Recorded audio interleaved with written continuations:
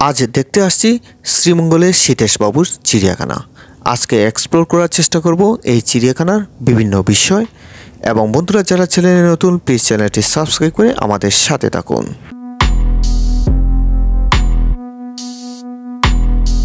বাংলাদেশের অন্যতম সুন্দর জেলা মৌলভীবাজারের পর্যটক প্রিয় উপজেলা শ্রীমঙ্গল। আর শ্রীমঙ্গলের একমাত্র চিড়িয়াখানা সীতেশবাবুর মিনি চিড়িয়াখানা। তবে এই চিড়িয়াখানা তৈরির ইতিহাস কিন্তু একদিনের নয়। উনিশশো একাত্তর সালে মুক্তিযুদ্ধের পূর্বে সীতেশবাবুর পিতা শ্রীশদেবের প্রথম তৈরি করেন এই চিড়িয়াখানা। তখন অবশ্যই চিড়িয়াখানাটি এখনকার জায়গায় ছিল না। চিড়িয়াখানা ছিল নোয়াগাঁওয়ের বাড়িতে।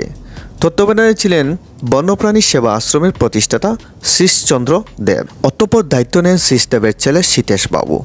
বহু বছর ধরে ধীরে ধীরে বেড়েছে এই চিড়িয়াখানার প্রাণীর সংখ্যা। দুই হাজার নয় সালে প্রাণীর সংখ্যা এত বেশি হয়ে যায় যে চিড়িয়াখানা অন্যত্র সরিয়ে নিতে বাধ্য হন। বর্তমানে চিড়িয়াখানাটি হাইল হাওরের পাশে। শহর থেকে মাত্র এক কিলোমিটার দূরে অবস্থিত।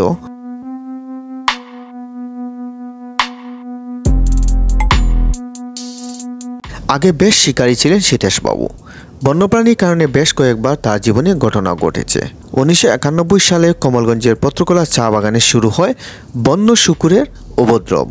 বন্য শুকুর নিধনের চা বাগান মালিক তাকে অনুরোধ করলে দোলনা বন্দুক নিয়ে চলে যান এই বাগানে। এক রাতে মুখোমুখি হন বাল্লুকের। এক তাবায় তুলে নিয়ে তার চোখের আর মুখের কিছু অংশ। দুই মাসের চিকিৎসার পর সুস্থ হয়ে বাড়ি ফিরেন। তারপরেও তার বন্যপ্রাণীর প্রতি প্রেম কমেনি। চিড়িয়াখানায় থাকা পশু পাখির দেখভাল করেন নিজের সন্তানের মতো পরম মমতায়। একবার চিন্তা করেন তো, বন বাল্লুক তার মুখের এক পাশ কুবলে নিয়েছে, তবুও মৃত্যুর মুখ থেকে ফিরে এসে সযত্নে চিড়িয়াখানাটি গড়ে তুলে যাচ্ছেন। পশু পাখির প্রতি এই ব্যক্তির ভালোবাসা কোন মাত্রায় ভাবেন তো একবার।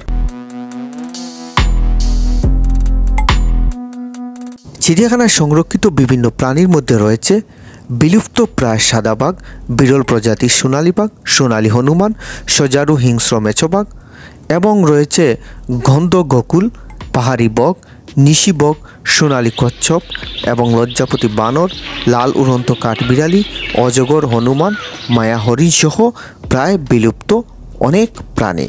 আপনি যদি শ্রীমঙ্গলে আসতে চান সীতেশবাবুর চিড়িয়াখানা দেখতে, তাহলে ঢাকা থেকে খুব সহজে আসতে পারবেন ট্রেনের মাধ্যমে।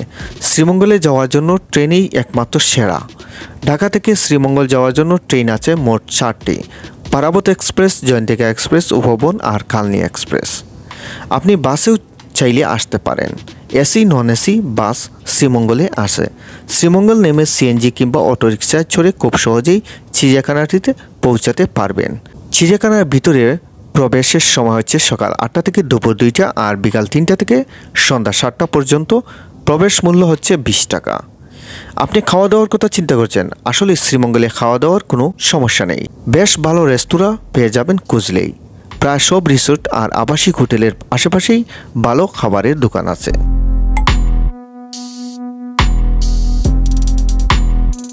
আপনি যদি শ্রীমঙ্গলে থাকতে চান, তাহলে অনেক ভালো মানের হোটেল পেয়ে যাবেন। অনলাইনে আপনি সার্চ করে ভালো ভালো হোটেল আপনি বুকিং করে নিতে পারেন। তো বন্ধুরা, আজকের ভিডিও এ পর্যন্ত ভালো থাকুন, সুস্থ থাকুন, দেখা হবে অন্য একটি ব্লগ ভিডিওতে।